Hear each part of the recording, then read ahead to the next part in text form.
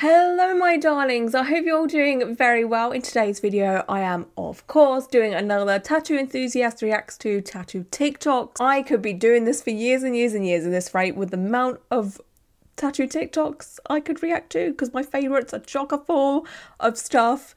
Thanks to you as always, I'm super appreciative of the people that tag me in tattoo TikToks. Without you, this series would not be possible. Trust me. So, honestly, from the bottom of my heart, thank you so, so much. But yes, I hope you're all well. I hope you're all sitting very, very comfortably. Okay, I should like to uh, make a comment about the fact that I am, yes, I'm actually wearing a cardigan in August. Do you know how happy that makes me? it's finally a temperature where I can comfortably wear a cardigan and not sweat so much. Like, I'm feeling quite warm um, but the aesthetic and the vibe of this cardi was too much for me. I got it from Primark. I know, Primark. I think it was only like £10 or something. And I saw it and I was like, oh, my little emo heart. I need to get that. but it's so fluffy and soft and cozy. And oh, it's a mood. It's a vibe. I really do feel like lighting up an autumnal candle right now. Should I do it? Should I light this one up? It's uh, Ghost Stories or what's this one? Oh, this is dark oud. Oh, see, that's not quite autumnal. Maybe I should do that one because, like, mm, you know, like, do I really want to like something that's apple and cinnamony right now? Probably not. There we go. The candle is lit just there. It's not like completely autumnal, but it was like a Halloween one because it had like a spider on the lid kind of thing. So yeah, yeah, spooky. Very, very spooky. I beg your pardon. Um, but yes, anyway, have you got your beverages? Are you cozy? I know. It's not Pepsi Max. I know. This is delicious. I found it in B&M and now I can't stop drinking them. okay, let's get started. I'm going to put my earbud situation in this ear because I recently, I don't know if you can see it, probably not, um, but I recently got my uh, daith pierced because I thought they were very, very pretty. And I don't know, I just love the way they look in people's ears, so I wanted one. And um, yeah, so I don't want to be putting earbuds or anything in this ear, but I am wearing one. It's in there, you just can't see it. Okay, day one of me touching up a stick and poke tattoo with my gun. Ugh. Are we on a fluffy carpet? What is that? Is that a blanket? Please stop. What are you doing? There's no need to go that quick. Go slow. Why are you going so quick? Unless it's sped up, but I don't think so. No, what are you doing? I mean, I have to give them uh, credit because there is, you know, gloves. Like my standards are very low when it comes to ham. Ham? when it comes to home tattooing now. But there's, I'm hoping this has been sped up because there's no need to be this fast. This is how patchiness um, happens. I mean, it's not terrible. There's a bit of improvement there, but it could be, like, the red could be a lot more saturated there because I feel like they went a bit too quick. You know, like, slow down. Where's the rush? What's the hurry? the whole, I don't know what it is about people tattooing themselves on fluffy blankets or towels or whatever. It just gives me the ick because there is probably so much grossness trapped in all those fibres and you're just like tattooing yourself on them. I don't know, it just bothers me. She's a 10 but always tats herself to make her a 100. Okay. Okay. What? They were probably like tattooing the boobage area. Excuse me? I mean, fair play, I guess. That takes something. And the neck as well. Jesus. I don't know if this is a professional tattoo artist or not. I'm looking on their profile. It says female tattoo artist, self taught. But whether they tattoo in a studio or not, I don't know. There is quite a few tattooing videos, but it kind of looks like they just tattoo themselves. So, mm, bit suspicious. I don't know if it's, uh, you know, don't think this is a tattoo artist that works in a studio kind of deal, if you know what I'm saying. But I mean, I'll give them credit because, you know, it definitely takes some guts to tattoo yourself, especially like your neck area. Oh boy. So I'm going to be 100% honest with you. I don't do any upkeep on the white. You can do multiple passes if you want to make it brighter, but like that's one pass and it's fully healed. So like I had this done a week ago. That's completely healed and it's super vibrant. So yeah, and same as the red on black. You I did one pass on this and it was still there, but I did another pass recently just to make it even brighter. But like to give you an example, this red on black is brighter than the red in my eye over here, and this was done like pre blackout. This was done post blackout. So like just for reference, this red is brighter than the red I got done not over blackout. So yeah, the possibilities are pretty limitless, and it's really just on people to try more stuff at that point. But yeah, I don't do any maintenance for the white. What you see is what you get. This white was done almost a year ago. Wow, that is absolutely fascinating. I'm glad I was tagged in that because I don't know if it depends how much of my videos you watch, but I have been very much thinking of blacking out the whole of my back and then having white ink over the top. It's going to be such a huge commitment that I'm still very much thinking about it. I'm not in any rush to do it because it's, again, something I really want to think about because, yeah, it's a lot. So I'm glad I've been tagged in that and seen, you know, what it can look like. You know, that was obviously done very, very well. The design and the artwork is absolutely splendid. It's so freaking good and it's just fascinating. I'm a UK tattoo artist who loves goth vibes. Yes. Oh, yes. Oh, beautiful. Love it. This is a bit of me. Oh god, I love tattoos like that. They are a like I was saying, they're a bit of me. Very nice, very spooky. Love a bit of like black and grey, black work vibes as well. Mm. Stop what you're doing if you love Stranger Things. Well, I do. I very much do.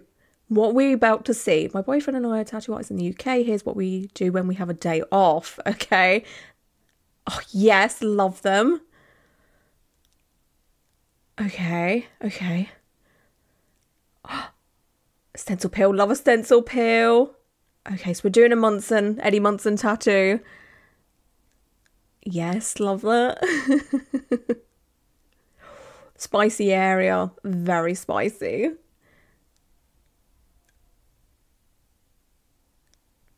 That's freaking hella cool. Yes. Love. That's freaking amazing.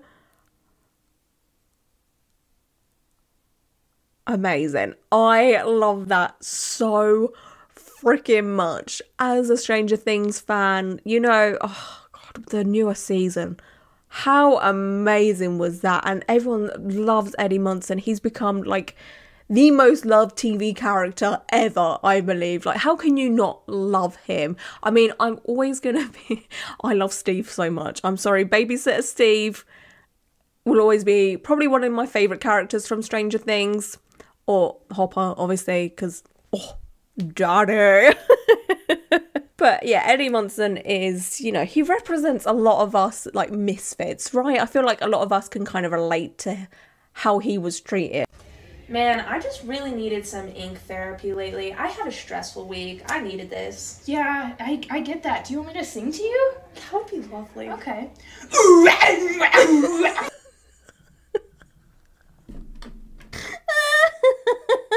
Oh, that was brilliant. Oh my god. I was expecting some kind of nice little lullaby, not some devil demonic noises. but I totally agree about the whole ink therapy thing. Like, it can make you feel better, can't it? A new tattoo. It just lifts your spirits up, and I don't think there's anything wrong with that, honestly.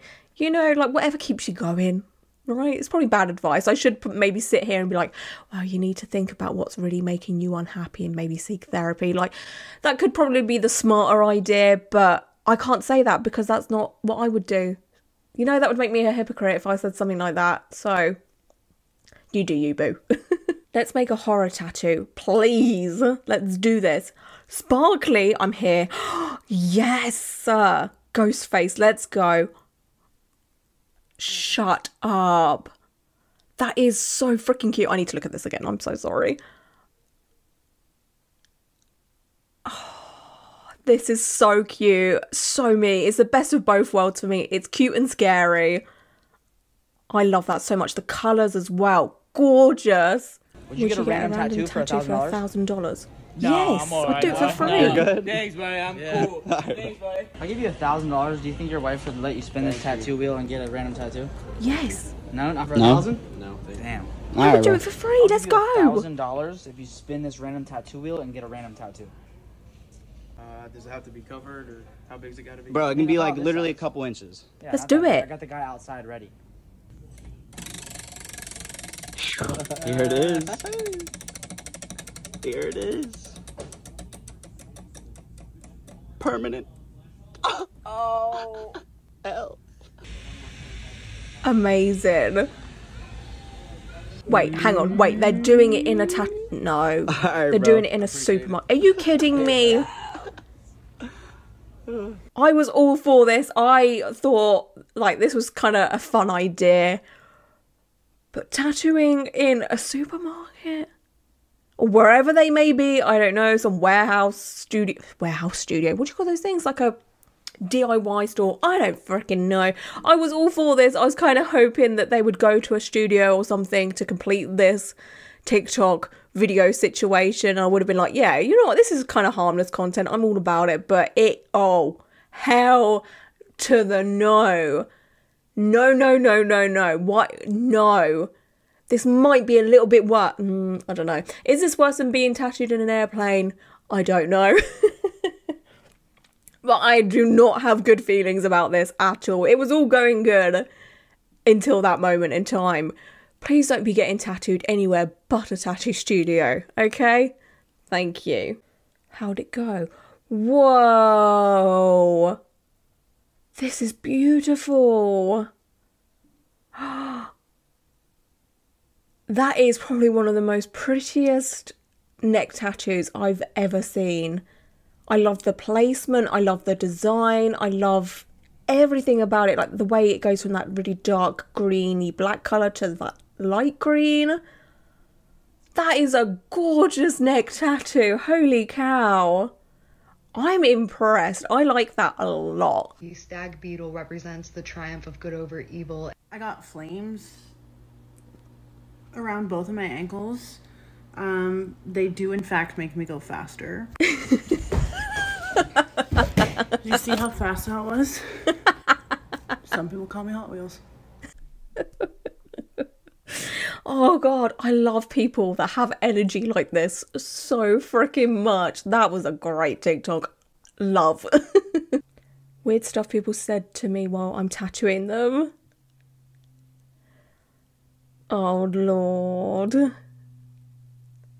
Okay, let's go.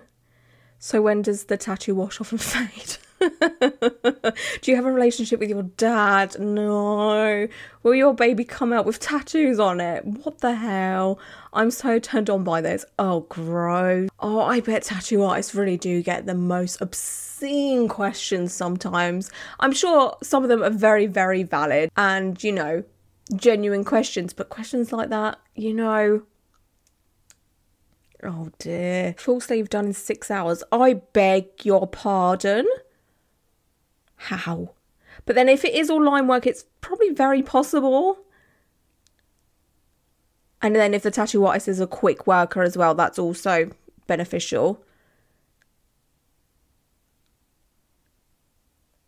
Okay, so we've got a, a lot of stencils going on here.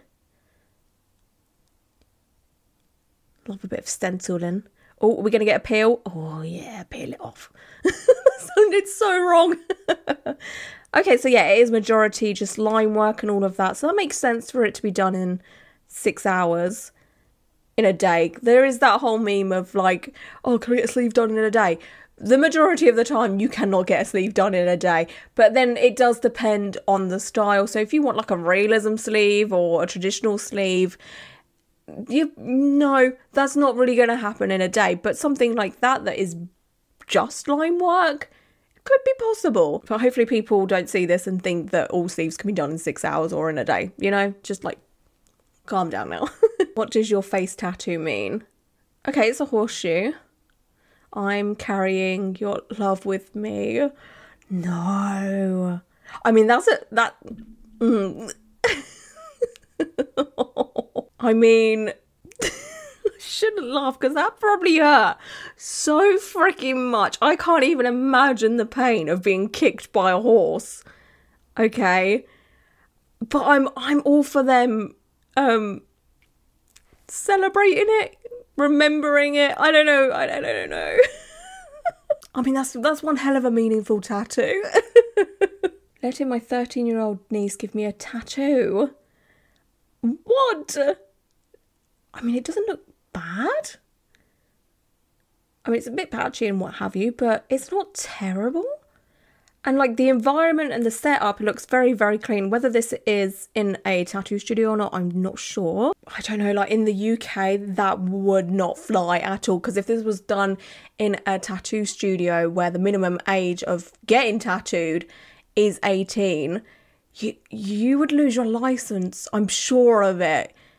Like letting someone that's underage tattoo, like it just oh, I don't know. It seems kind of dangerous because what if something goes wrong? Because when you learn to tattoo, like through an apprenticeship and what have you, you learn the way the blood works and, you know, bloodborne pathogens and all of that, you know, like infections and how to be safe while tattooing and protect yourself. Not only the client, but as a tattoo artist, you got to protect yourself because you never know what someone may have. You don't want to be, you know, too careless about tattooing someone and touching someone's bodily fluids and all of that stuff, right? You have to be extremely careful. So it's a bit like, yeah, it looks like it's been done safely, but does this 13 year old know everything there is to know when it comes to tattooing and being safe as a tattoo artist? You know? Okay, for this one, I have definitely seen, I want to be completely transparent. I have seen this before, um, but I got tagged in it a lot. So I, I want to share it with you because it's like some wholesome content. Um, but this person puts on a bunch of temporary tattoos on their head. It's so freaking cool. And they did such a good job with all the placements and what have you.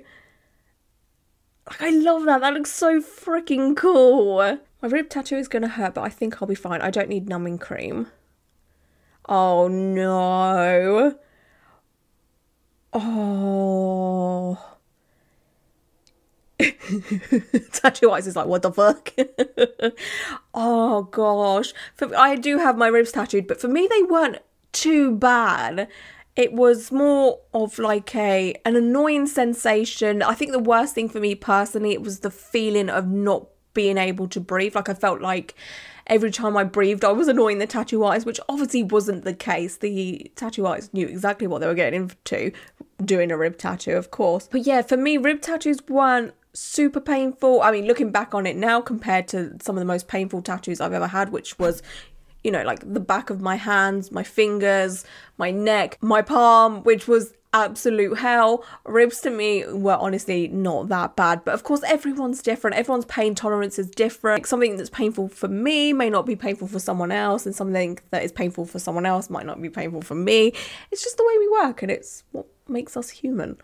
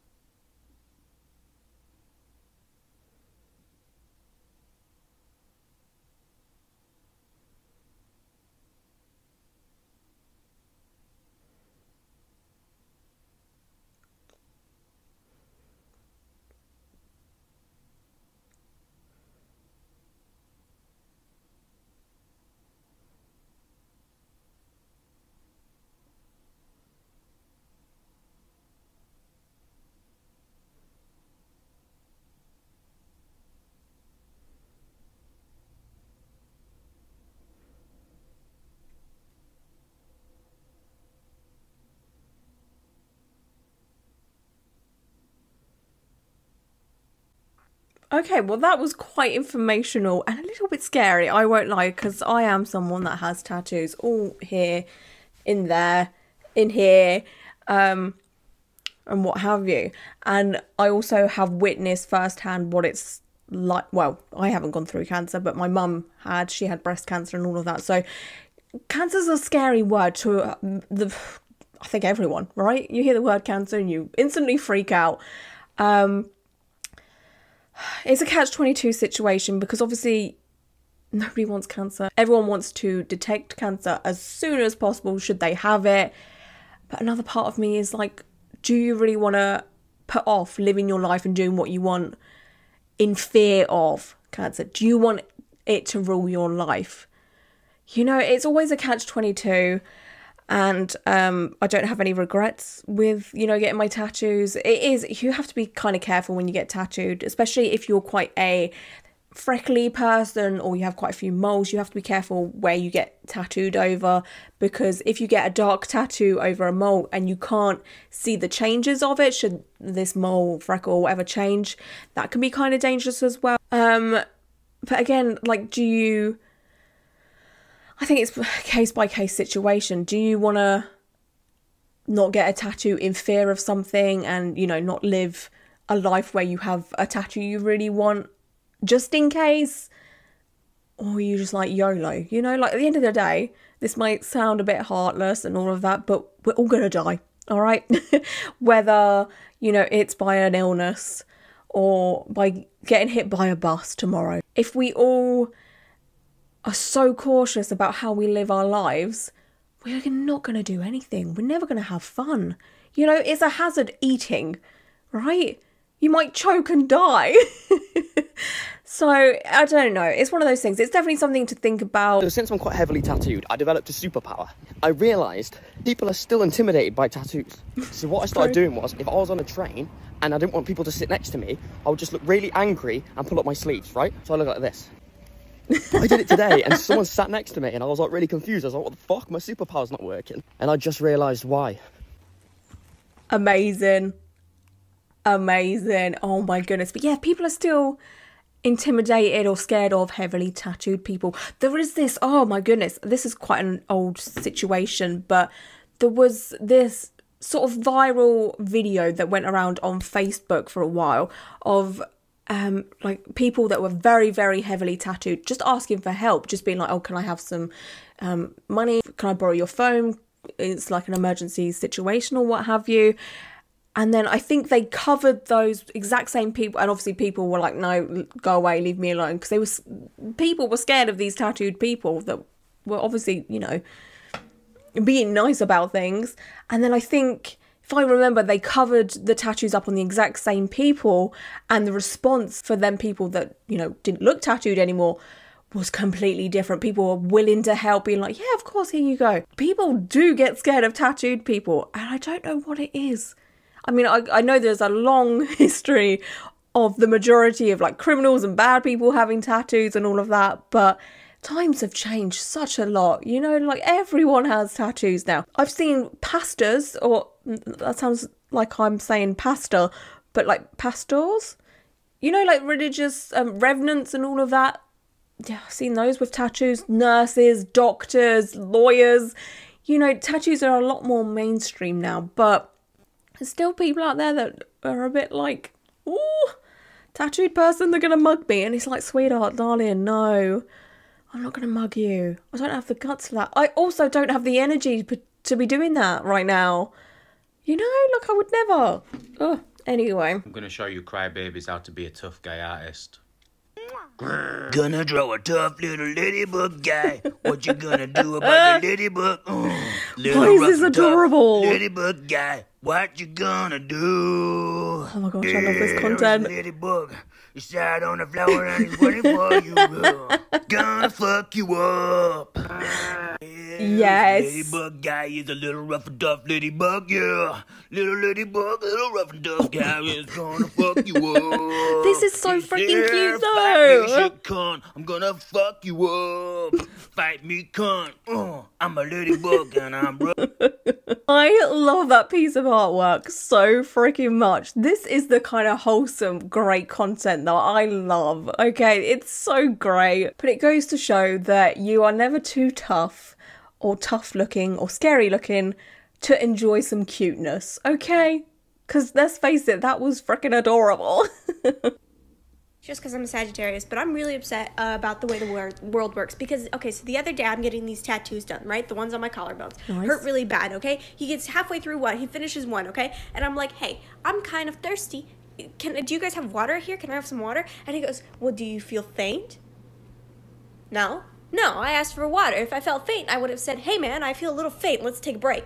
But then I tell my mom the story and she says, well, sometimes people say that they, they are thirsty when they're really feeling faint during the mm-hmm. tattoo. And so he has to double check. And I said, that's stupid. Why would you say one thing if you feel another? I don't understand. All right, other day, I went to go get my AirPods fixed. My left AirPod stopped working. Okay, I go to the I go to the Apple store. I say, hello, sir. The left AirPod stopped working. And he says, Are they clean? And I say, Of course they're clean. I'm going to hand them to you, and it would be really embarrassing if there was a bunch of earwax on here. I don't say that. I say, Yes, of course they're clean. Okay? He takes them, he opens them. Oh, wow, they're actually clean. Well, that's what I just said. I just said they were clean. Why would you lie about that? Who goes into the Air- Apple store and is like, "Hey, yeah, my AirPods are clean," and he pulls them out and they're covered in ear gunk? Why would you that? Why would you embarrass yourself like that? Anyways, he opens it. He says, "Oh, they actually are clean," and then he says, "Let me run a quick little diagnostics." He runs his diagnostics. He says, "Left AirPod isn't working." That's funny. I said that as soon as I walked in, but. Uh, this happens in my day-to-day life too okay people will come up to me and be like hey i just want to make sure you're not upset with me if i was upset with you i would say i'm upset with you why would i not say that i don't understand I'm sorry, but I relate to this person's energy so much because Tom, my boyfriend, is a Sagittarius. They seem to be all the same. So freaking chaotic, right? With their energy and their way they explain things. Like, Sagittariuses, are you not tired? Please breathe, okay? what is with the chaos? Okay, like we're not in a rush. We're here to listen. Okay, I'm not uh, like you can. You can be slow. You can calm down. honestly, living with a Sagittarius sometimes it's it. Oh my god! Like honestly, Tom is a true Sagittarius when it comes to the chaos. I'm like, please, can we just take one thing at a time? One, th- just one thing at a time, sweetheart. All right. Why are we in a rush? Why are you in a hurry? Why are you trying to do seven things at once? If you're a Sagittarius, it's gonna be okay. Please. Listen to me. From a Capricorn. Okay? It's gonna be alright. Why is it why is life so chaotic for you? What happened? what did the moon do to you? Oh, but yeah, the whole first story there, after all of that, um, if I can remember, because it was so chaotic, um, the whole asking a tattoo artist for water because you're thirsty is completely okay. You know, it's I always bring a drink with me to a tattoo session, no matter if it's like 30 minutes or 300 hours, okay? I always bring a drink with me. But if you forget or, you know, you're very busy before your tattoo appointment and you don't have time, you can ask for some water. It should be fine. A tattoo artist should not find any issue with that. I completely understand why the tattoo artist said, "Oh, you, do you feel faint?" kind of thing because like this Sagittarius's mother said, you know, sometimes when someone isn't feeling well, they will ask for water. So it's just a cautionary thing why the um, tattoo artist asked, kind of thing. They're just, you know, making sure that you're okay. Um, I need to lay down after that. Oh my goodness. Wondering what a stomach tattoo would look like on a plus size person. Yes! I need to see this again. That tattoo is freaking amazing. The vibes are immaculate. The style is immaculate. Holy cow. Yes. Oh my god, I love it so so much. And this kind these kind of TikToks just give me so many good positive vibe because I get uh, I get questions and like comments all the time saying, "Oh, I want this tattoo, but you know, I'm a curvy person. I'm a plus size person. I don't think it's going to work. I don't think it looks good. I don't think I should have." Stop that right now. Stop that, please. I, I cannot stress enough. You are never too big or too small for any kind of tattoo. It will work. Just because you are a certain size doesn't mean you should not experience something, not have something, think something doesn't look good on you. Bullshit. This person right here, living proof. That tattoo is beautiful. It is gorgeous. I love it so much. And, oh, I just love to see it. Live your best life, please. I beg. If there's anything you can learn from me and my videos, is just please live your life. Get that tattoo. You are not too of anything to have a tattoo ever. Okay, I'm gonna react to one more for this video. If you've Let's ever been tattooed by me, you've heard something along the lines of consent is important to me in my practice. Anytime I have to touch you or lean on you, I'll ask if that's okay. Is it cool if I shave you down? And I ask this not because anyone's ever said, actually, I'd rather you not shave me. But because to me, consent is the centerpiece of any good tattoo practice, and starting from a place of consent lets you kind of constantly check in about that. So anytime I have to move your shirt, I'm gonna ask. Amazing. Anytime I have to lean on you or stretch really hard, I'm gonna ask. And anytime something changes about the process, where my hands are, any of that stuff, I'm gonna ask. And any tattooer worth your time should be doing this. Because we're changing your bodies forever and you're in charge. A hundred percent. I love, love their attitude towards tattooing. That to me is a breath of fresh air, and I would appreciate a tattoo artist doing that. The thing is, I've been getting tattooed for a very long time now. I've never had a tattoo artist be like, oh, hi, can I do this, this, this, and this? Because whenever I get tattooed, I expect it. I expect a tattoo artist to be all up in my grill, touching all over, stretching my skin, and all of that. It's just something that I've always thought, you know, I've signed up for this. I've been very, very lucky, touch wood, and all of that. Um, I've never had any unpleasant experiences. I've never been inappropriately touched while getting tattooed or anything like that. But it does happen. It's quite rare, but it does happen. And the major red flags you need to look out for is, you know, someone asking you to take off way more clothes than you need to. You know, if you're getting your arm tattooed, like lower arm tattooed, and the tattoo artist is like, oh, can you take your t shirt off? Why? You're tattooing down here, my love. Why do I need to take my t-shirt off? There's plenty of area there that's got no clothes on it. What, what are you doing? Why are you asking me to be sitting in a bra right now or topless right now? You know, you've got to look out for the red flags of stuff that just doesn't make sense. And if a tattoo artist is being way more handsy than they need to be, red flag. If they're touching other parts of your body that isn't getting tattooed, red flag.